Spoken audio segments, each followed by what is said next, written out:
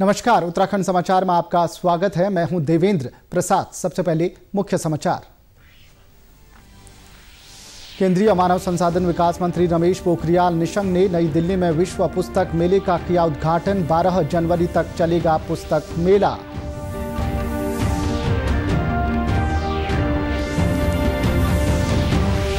हिमाचल प्रदेश के मुख्यमंत्री जयराम ठाकुर ने कहा, नागरिकता संशोधन अधिनियम पड़ोसी देशों में प्रताड़ना झेल रहे अल्पसंख्यकों के लिए है, किसी समुदाय या संप्रदाय के खिलाफ नहीं। उत्तराखंड में मौसम ने फिर बदली करवट, पहाड़ों की रानी मसूरी और नैनीताल समेत ऊंचाई वाले इलाकों में बर्फबारी, राजधानी देहरादून में बारिश के साथ ओले भी पड़े।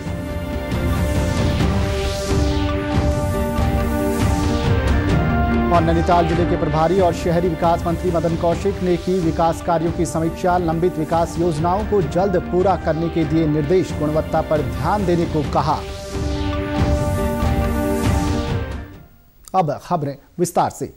अट्ठाईसवां विश्व पुस्तक मेला आज से नई दिल्ली के प्रगति मैदान में शुरू हो गया है। केंद्रीय मानव संसाधन विकास मंत्री रमेश पोखरियाल निशंक ने पुस्तक मेले का उद्घाटन किया। नेशनल बुक ट्रस्ट द्वारा आयोजित ये मेला इस महीने की 12 तारीख तक चलेगा।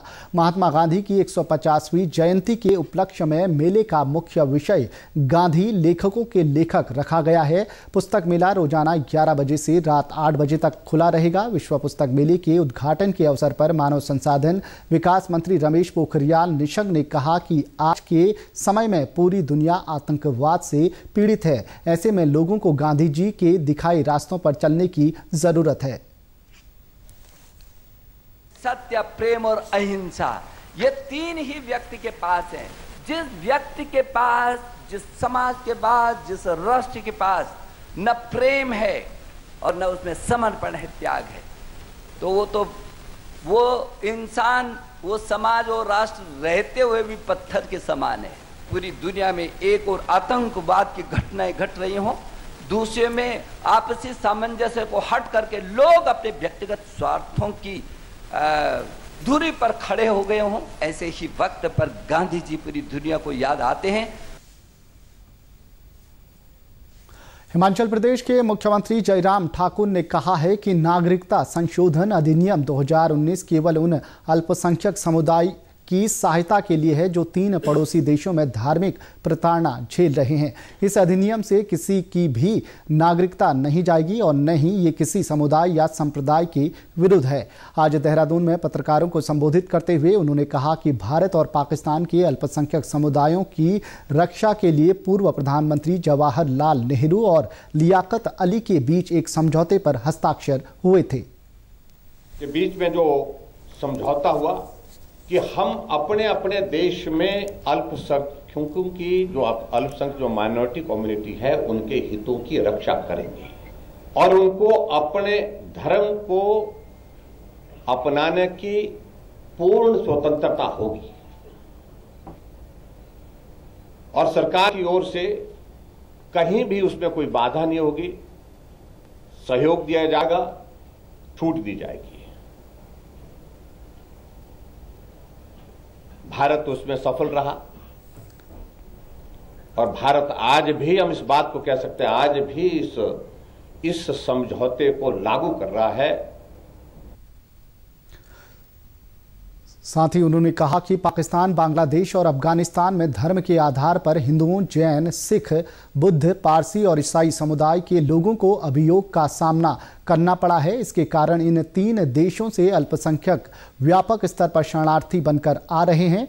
श्री ठाकुर ने कहा कि कांग्रेस और अन्य विपक्षी दलों के नेता इस मामले का राजनीतिकरण कर रहे हैं और झूठे बयान देकर लोगों को भ्रमित कर रहे हैं।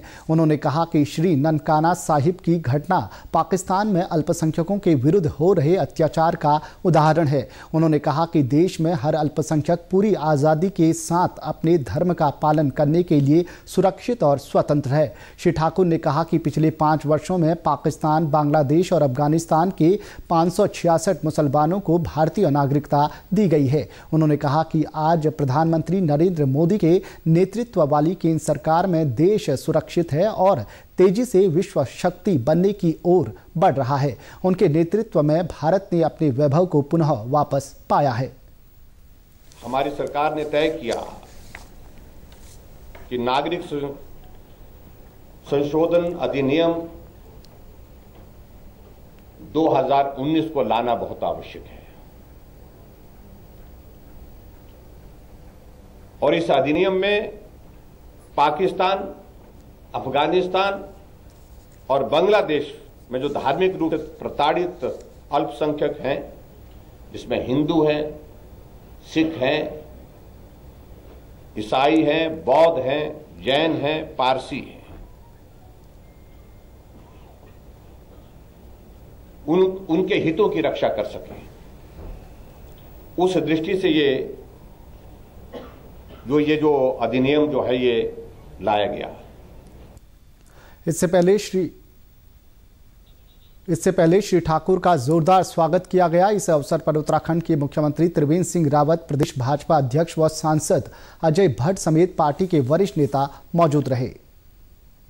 पौड़ी ज़िले के प्रभारी और कृषि मंत्री सुबोध उनियाल ने कहा कि नागरिकता संशोधन कानून इस देश के नागरिकों की नागरिकता छीनने का कानून नहीं है। जिला मुख्यालय पौड़ी में नागरिकता संशोधन कानून पर उन्होंने जन जागरूकता बैठक कर पार्टी कार्यकर्ताओं को इस कानून के बारे में आम जनता को जागरूक करने के लिए कहा। पत्रकारों से वार्ता करते हुए उन्होंने कहा कि इस कानून को लेकर विरोधी दुष्प्रचार कर रहे हैं और लोगों को भ्रमित किया जा रहा है। उन्होंने कहा कि ये कानून धार्मिकता से नहीं जुड़ा है, लेकिन इसे राजनीतिक रंग देने की कोशिश हो रही है। वहीं विधायक मुकेश कोहली ने कहा कि पार्टी कार्यकर्ता घर घर जाकर लोगों को सीएए की जानकारी दे रहे हैं। आज अगर जो लोग उन्नीस को पार्टीशन के बाद जो पारसी, हिंदू, बौद्ध, जैन, ईसाई भाई हमारे, जो पाकिस्तान में ही रुक गए अगर वो उन लोगों को केवल अल्पसंख्यक होने का कारण प्रताड़ना झेलनी पड़ी, कईयों को धर्म परिवर्तन करना पड़ा, और इस प्रताड़ना से कारण जो लोग भारत में आकर शरणार्थी बन गए। अगर उनको नागरिकता देने के लिए अधिनियम लाया जा रहा है, ये अगर गलत है तो मैं समझता तो इसका जवाब दें हमारे विपक्षी दल के लोग। किसी भी ये मैंने आपसे स्पष्ट कहा, भ्रम फैलाया जा रहा है कि ये अधिनियम नागरिकता छीनने का है, जबकि ये अधिनियम नागरिकता देने के लिए है। टिहरी में नागरिकता संशोधन कानून को लेकर पत्रकार वार्ता में शिक्षा मंत्री अरविंद पांडे ने कहा कि इस कानून का किसी जाति, धर्म से कोई संबंध नहीं है। ये कानून साफ़ तौर पर नागरिकता देने वाला कानून है। इसके ज़रिए उन लोगों को नागरिकता दी जाएगी जो शरणार्थी के तौर पर भारत आए थे। उन्होंने कहा कि कांग्रेस ने अपने वोट बैंक के लिए हमेशा इन लोगों का इस्तेमाल किया। शिक्षा मंत्री ने कहा कि प्रधानमंत्री नरेंद्र मोदी और गृह मंत्री अमित शाह ने नागरिकता संशोधन कानून के ज़रिए प्रताड़ित लोगों को नया जीवन और उम्मीदें देने का काम किया है। उन्होंने कहा कि सालों तक देश में शासन करने वाली कांग्रेस ने हमेशा देश को गुमराह किया है। उन्होंने कहा कि देश का हर नागरिक इस कानून को लेकर खुश है और जो लोग भ्रमित हो रहे हैं, उनको पार्टी का कार्यकर्ता घर घर जाकर जागरूक करेगा। देश के अंदर सीईए को लेके आम जनमानस के अंदर एक खुशी है। उस खुशी को जो कांग्रेस पार्टी है और जो विपक्ष में बैठे हुए लोग हैं, वो कहीं ना कहीं अपने वोट बैंकों के लिए हिंदुस्तान को अराजकता की आग आग में झोंकना चाह रहे हैं, जिसको यहाँ की जनता कभी भी बर्दाश्त नहीं करेगी। सी ए जो कानून है सिटीजन अमेंडमेंट एक्ट यह हिंदुस्तान के किसी नागरिक पे भी, चाहे हिंदू हो, मुसलमान हो, सिख या ईसाई हो, या किसी पे लागू नहीं होता। यह एक्ट सिर्फ़ उनके लिए बनाया गया यह संशोधन अध्यादेश उनके लिए बनाया गया है जो पाकिस्तान और बांग्लादेश से जो शरणार्थी बन के हमारे बीच में आए हुए हैं, उनको स्थायी नागरिकता देने के लिए कानून बनाया गया है, न कि किसी का धर्म खत्म करने के लिए और न किसी को देश से निकालने के लिए। नागरिकता संशोधन अधिनियम के प्रति लोगों को जागरूक करने के लिए भाजपा के अभियान के तहत चमोली ज़िले के ब्लॉक सभागार कर्णप्रयाग में गोष्ठी का आयोजन किया गया। इसमें कहा गया कि नागरिकता संशोधन अधिनियम के बारे में कार्यकर्ता द्वारा घर घर जाकर लोगों को जानकारी दी जाएगी, जिससे विपक्ष जनता को गुमराह न कर सके। गोष्ठी के बाद भाजपा कार्यकर्ताओं ने शहर में रैली भी निकाली। सीए को लेकर कार्यकर्ताओं ने गाँव गाँव जाकर गोष्ठियों के माध्यम से जन जन तक पहुँचाने का संकल्प लिया। भाजपा कार्यकर्ताओं ने बताया कि लोगों को ये समझाया जाएगा कि ये एक्ट किसी की नागरिकता छीनने वाला नहीं, बल्कि लोगों को नागरिकता देने वाला है। उन्होंने कहा कि इस अभियान के तहत विपक्ष की ओर से अधिनियम को लेकर फैलाए जा रहे भ्रम को दूर किया जाएगा। जगह जगह अपनी बैठकें आयोजित की है और हमको इस प्रकार से जनता के बीच जाने के लिए जिम्मेदारियाँ दी गई हैं। हम जगह जगह एक अपने प्रबुद्ध सम्मेलन करेंगे बौद्धिक सम्मेलन करेंगे और उस सम्मेलन के माध्यम से हम जनता को अवगत कराएँगे कि जो ये नागरिकता संशोधन अधिनियम 2019 है वो ज, पूरी जनता के फेवर में है। कहीं भी माइनॉरिटी के खिलाफ नहीं है। जिस प्रकार से कांग्रेस पूरे देश में माइनॉरिटी के खिलाफ इसको लोगों के बीच अफवाह फैला रही है विमर्श चला रही है भ्रांतियाँ फैला रही हैं लोगों को गुमराह करिए, कहीं भी गुमराह करने की ज़रूरत नहीं है। ये पूरे नागरिकों में अल्पसंख्यकों के फेवर के बिल है। महिला कल्याण एवं बाल विकास राज्य मंत्री रेखा आर्य ने कहा कि नागरिकता संशोधन कानून सताए हुए लोगों के हित के लिए है। बाहरी देशों में जिन लोगों के साथ अच्छा व्यवहार नहीं होता, उनको नागरिकता देने के लिए ये कानून बनाया गया है। नागरिकता संशोधन अधिनियम पर बागेश्वर में पत्रकारों से बातचीत में उन्होंने कहा कि भाजपा का विरोध कर रहे विपक्षी दल सत्ता से बाहर रहने के कारण आज हताशा और बौखलाहट में हैं। वे आम लोगों को गुमराह कर रहे हैं, जिससे राष्ट्र का विकास भी बाधित हो रहा है। उन्होंने कहा कि ऐसे लोगों को सबक सिखाने की ज़रूरत है। पूरे देश भर में इस सीए को लेकर समर्थन आया है। मुझे आप उसे जो है, मुझे लगता है मीडिया के माध्यम से दिखाया जाना चाहिए। और जो विरोध हिंसा के रूप में हुआ है, और उसके पीछे निश्चित रूप से कांग्रेस और कुछ अलगाववादी ताकतें हैं, और कुछ अराजक तत्व हैं, जो कि प्रदर्शन को जो है, हिंसा में परिवर्तित करते हैं। प्रदेश में आज मौसम में फिर परिवर्तन हुआ। पर्वतीय जिलों में आज बर्फबारी हुई तो मैदानी हिस्सों में बारिश और ओलावृष्टि हुई। आज चारधाम सहित चमोली, टिहरी, उत्तरकाशी, रुद्रप्रयाग, बागेश्वर, चंपावत, पिथौरागढ़ सहित अन्य पर्वतीय जिलों के ऊंचाई वाले इलाकों में बर्फबारी हुई। मसूरी, धनौल्टी, नैनीताल समेत प्रदेश के मशहूर पर्यटन स्थलों पर बर्फबारी होने से सैलानियों के चेहरे खिल गए। पहाड़ों की रानी मसूरी में बर्फबारी होने से जनजीवन प्रभावित हुआ। हालाँकि वीकेंड में बड़ी संख्या में मसूरी पहुँचे पर्यटकों ने बर्फबारी का लुफ्त उठाया। राजधानी देहरादून में दोपहर बाद बारिश हुई, जबकि कुछ स्थानों पर ओले भी गिरे, जिससे तापमान में गिरावट आ गई। मौसम विभाग ने अगले कुछ दिनों तक खासकर पर्वतीय जिलों में हल्की बारिश और बर्फबारी की संभावना जताई है।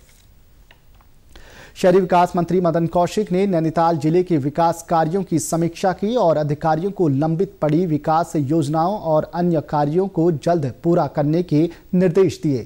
बैठक के बाद पत्रकार वार्ता में उन्होंने बताया कि नैनीताल को जिला योजना में बयालीस करोड़ सैतालीस लाख रुपए आवंटित हुए थे, जिसमें से अब तक इकसठ फ़ीसदी खर्च किया जा चुका है। इसके अलावा राज्य योजना में 418 करोड़ में से अब तक 223 करोड़ रुपए, यानी 17 प्रतिशत खर्च किया जा चुका है। श्री कौशिक ने बताया कि इसी तरह केंद्र की योजना में भी नैनीताल ज़िले को आवंटित धनराशि में से सड़सठ फ़ीसदी खर्च हो चुका है।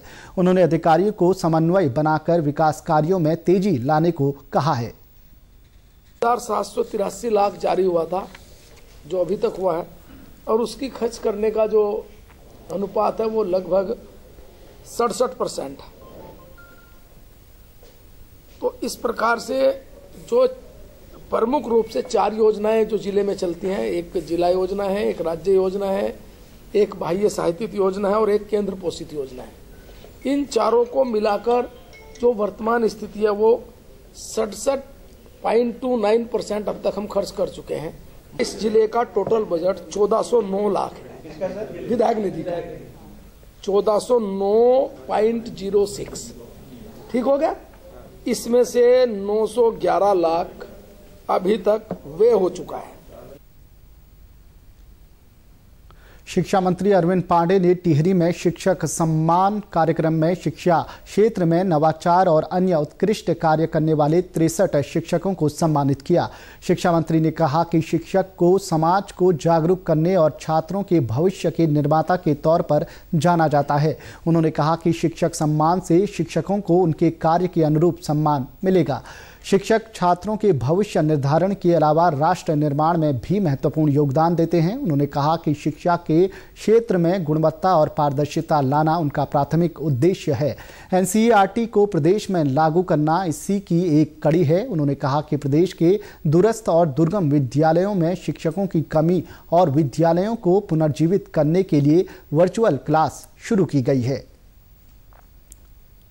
उत्तराखंड के समाचारों में बस इतना ही। चलते चलते मुख्य समाचार, एक बार फिर। केंद्रीय मानव संसाधन विकास मंत्री रमेश पोखरियाल निशंक ने नई दिल्ली में विश्व पुस्तक मेले का किया उद्घाटन। 12 जनवरी तक चलेगा पुस्तक मेला।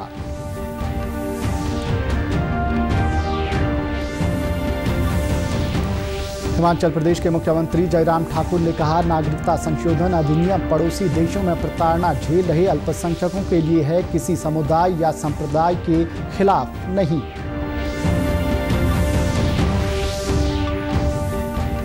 उत्तराखंड में मौसम ने फिर बदली करवट, पहाड़ों की रानी मसूरी और नैनीताल समेत ऊंचाई वाले इलाकों में बर्फबारी, राजधानी देहरादून में बारिश के साथ ओले भी पड़े।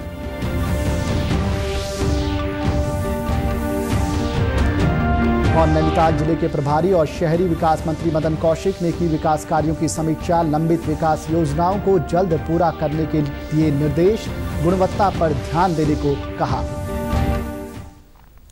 इसी के साथ समाचार समाप्त हुए। नमस्कार।